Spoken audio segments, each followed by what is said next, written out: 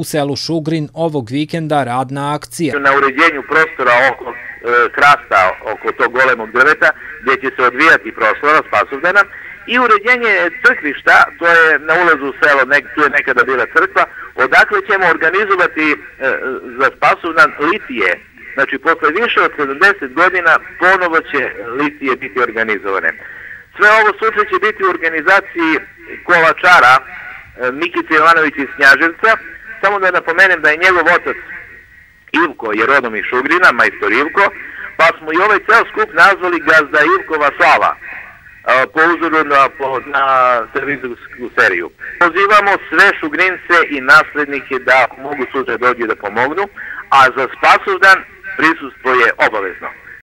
Tradiciju obeležavanja Spasovdana seoske slave obnovili su pre dve godine. 2021. godine smo obnovili slavu i počeli smo istovremeno i obeležavanje zavičajnog susreta.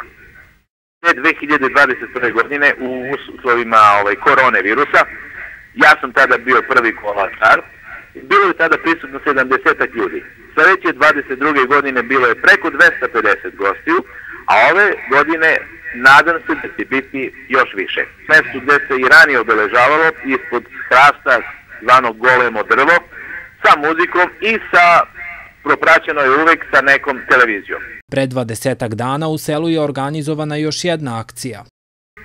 Gde smo uradili prepokrivanje krova na zgradi Doma kulture, tu su radili meštani i radili su majstori iz firme Rog iz Ćuštice i članovi lovačkog udruženja Ponišavlje iz Pirota koji gazduju na ovom prostoru i sa kojima imamo izuzetnu saradnju.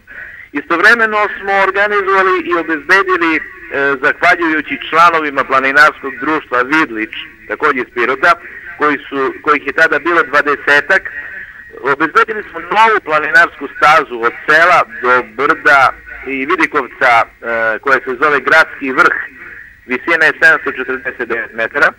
Staza je obeležena i nazvali smo je Staza zdravlja. Dužine je 1800 metara, nije zahtevna, za 30 minuta, 30-45 minuta se stiže.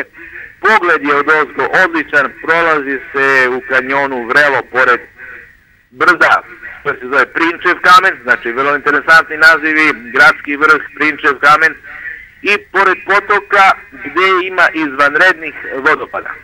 U selu stalno živi 11 meštana i još desetak je stanovnika koji nisu u selu tokom cele godine. U Šugrinu stalno borave i rođaci i potomci meštana, sve češće je i sve više gostiju, dodaje Pejčić.